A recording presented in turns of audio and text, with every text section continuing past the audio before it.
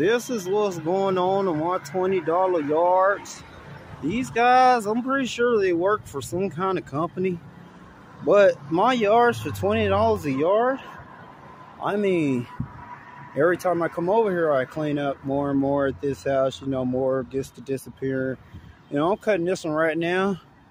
So, you know, as you can see, the cutting job, it is, it, it is very articulated. So, you know, I do this all by myself. I don't need any help. So whenever you need that yard cut, remember, you don't always need the big guys. Sometimes you need one guy. I'm in Lawton.